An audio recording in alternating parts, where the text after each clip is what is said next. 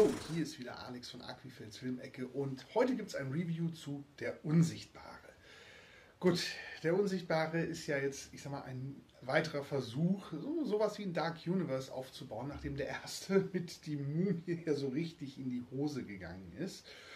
Und ne, ist natürlich dann spannend zu sehen, ob man, ob Universal diesmal vielleicht aus den Fehlern ihres ersten Films da in der Hinsicht gelernt haben. In dem Film geht es um Cecilia Cass, gespielt von Elizabeth Moss, und die ist in einer ziemlich ja, toxischen Beziehung mit ähm, dem brillanten Optiker Adrian Griffin, gespielt von Oliver Jackson Cohen. Und ja, sie muss in der Nacht- und Nebelaktion quasi fliehen, weil hm, sie lebt mit ihm in einem Haus, ist mit ihm verheiratet und er manipuliert sie, er setzt sie ja mit psychischer und physischer Gewalt auch unter Druck, dass sie halt ja einfach nur so funktioniert, wie er sich das vorstellt. Und ist natürlich klar, dass sie da auf Dauer das nicht möchte. Gut, in dieser Nacht- und Nebelaktion, in der sie flieht, ähm, kriegt sie Hilfe von ihrer Schwester Emily, gespielt von Harriet Dyer. Und ja gut, Adrian kriegt das zwar mit, kann aber letztendlich nicht viel tun. Zwei Wochen später ist sie halt bei einem alten Bekannten, einem Polizisten, James Lanier, äh, gelandet und ja, da untergekommen. Der wird von Aldous Hodge gespielt. Und sie hat immer noch so ein, ja, Angst, dass Adrian sie verfolgt. Hm? Als dann sich herausstellt, dass er anscheinend Selbstmord begangen hat, ist erstmal die Freude groß, so gemein das klingt, aber sie fühlt sich jetzt endlich wieder sicher.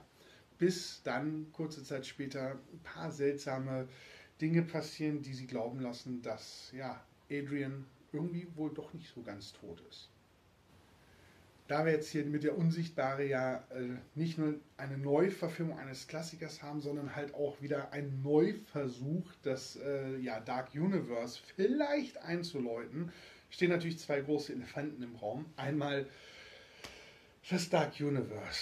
Die Idee finde ich cool und ich verstehe auch, dass Universal ne, quasi aus ihren alten IPs nochmal Kapital schlagen möchte und das Potenzial ist da. Definitiv. Nur weder Dracula Untold, der ja quasi inoffiziell hm, hätte ein Startschuss sein können, noch die Mumie, gerade die Mumie nicht, äh, ja, waren dafür überzeugende Versuche. Hm, beides keine guten Filme, wobei die Mumie nochmal bedeutend schlechter ist und vor allem wirklich mit der Brechstange versucht hat, hier ein Cinematic Universe zu kreieren. Ähm, Hollow Man, also Hollow Man sage ich schon, der Unsichtbare, The Invisible Man, ähm, hat das Potenzial, aber er macht einen entscheidenden Fehler nicht, den die Mumie gemacht hat. Er konzentriert sich tatsächlich erstmal auf den Film an sich, auf die eigene Story. Und ja, so viel spoiler ich mal, ähm, lässt natürlich Potenzial offen, dass da mehr kommen kann. Ohne dass es ein reiner Sequel-Bait ist, der einem wirklich auf den Sack geht. Und ohne dass er hier ne, gleich den, äh, die Werwölfe, Dracula und alles mit reinbringt und eine große Geheimorganisation, dass das ja, dann einfach nur noch beknackt wirkt und man sich denkt, what the fuck.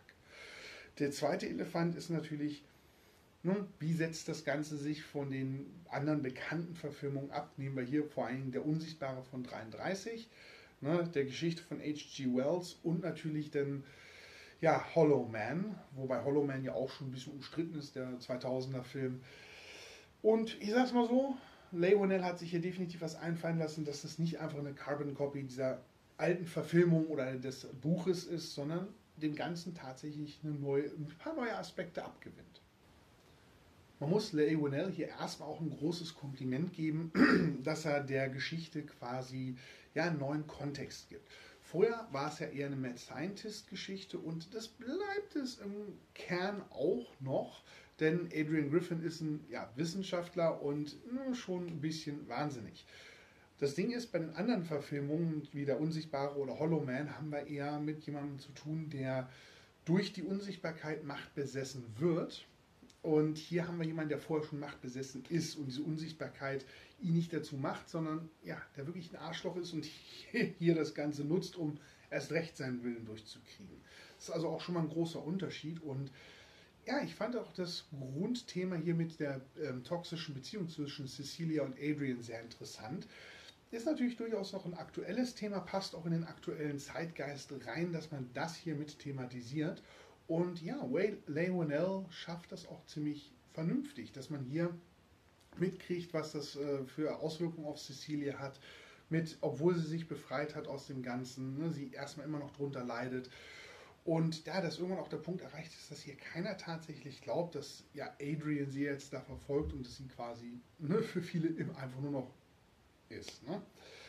Und ja, wie gesagt, ein paar Problematiken des, dieser ganzen Thematik werden da echt mit angesprochen und das ist für einen Horrorfilm gut, wenn man sowas auch mit einbaut und dem Ganzen, ja, ich sag mal, ein bisschen Anspruch verleiht, anstatt ne, hier einfach nur ne, wieder diesen Mad Scientist, der unsichtbar ist und jetzt ne, dann nach und nach dem Wahnsinn verfällt. Ich fand diesen neuen Ansatz definitiv sehr gelungen.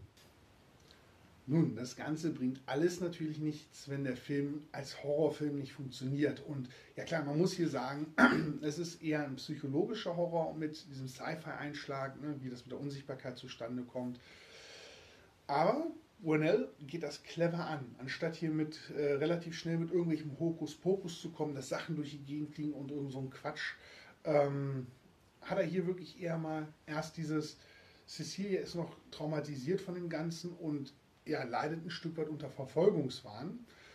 Und ja, bis sich das denn löst, als dann rauskommt, Adrian hat Selbstmord begangen, ja, ähm, danach fängt Rouenel subtil an. Ne? In einer Szene, als Cecilia zum Beispiel draußen steht, ne, es ist kalt, man sieht das, ne, man sieht ihren Atem beim Ausatmen und da muss man schon aufpassen, um zu sehen, dass hinter ihr dann auch so ein Atem äh, erscheint.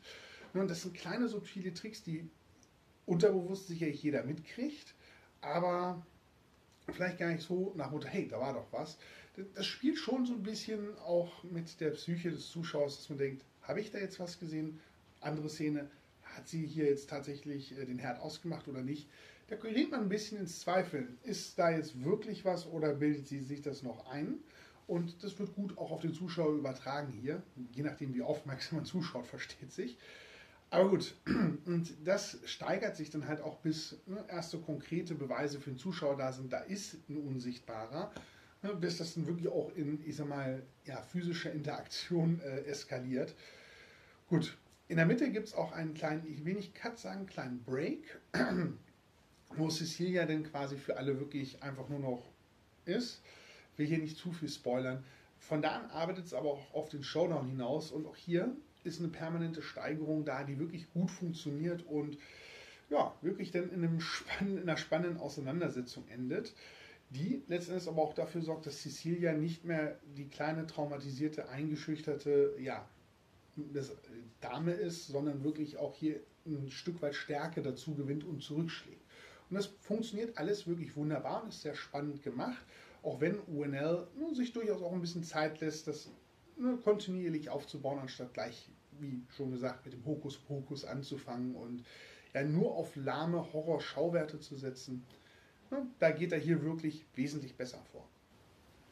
Das alles würde nichts bringen, wenn die Darsteller hier nicht überzeugend wären. Und ja, es gibt viele Horrorfilme, da ist es relativ egal, ob da jetzt wirklich schauspielerische Glanzleistungen äh, vorgetragen werden oder nicht, weil die andere Schauwerte haben da das hier natürlich sehr psychologisch auch vorgeht und ja, gerade der Schrecken von Cecilia und ne, dieser Wahnsinn oder Nicht-Wahnsinn von Cecilia eine Rolle spielt, hängt natürlich hier sehr viel an, an Elizabeth Moss, wie sie das rüberbringt. Und ja, der Supporting Cast macht das ganz gut und Moss ist wirklich hier, äh, geht hier voll auf, bringt das großartig rüber.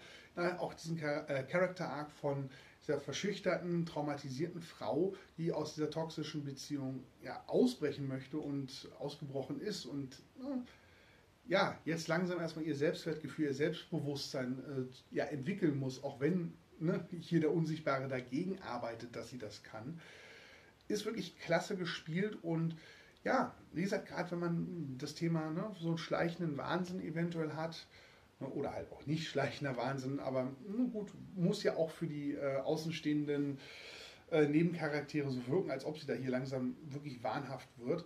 Ähm, wenn man das nicht, ja, wirklich da eine Punktlandung hinlegt, dann wirkt das schnell lächerlich und das schafft Moss, dass sie hier nie äh, ihren Charakter der Lächerlichkeit preisgibt und von daher klasse gemacht und wirklich auch wichtig dass der, äh, für den Film, dass der dann auch unterm Strich so gut funktionieren kann als Fan der alten Universal-Filme war ich natürlich riesig gespannt, wie dieser Film wird. Und nachdem die Mumie so enttäuschend war, hm, aber Leonel legt eine Punktlandung hin. Der Film ist spannend, er ist wirklich auch recht subtil im Horror gemacht und steigert sich kontinuierlich. Er ist gut gespielt und vor allem auch sehr, sehr schön, dass Winnell dem Ganzen ein paar neue Aspekte abgewinnen kann, ein paar neue Perspektiven hier einnimmt, die dafür sorgen, dass der Film tatsächlich in der heutigen Zeit auch wieder relevant ist.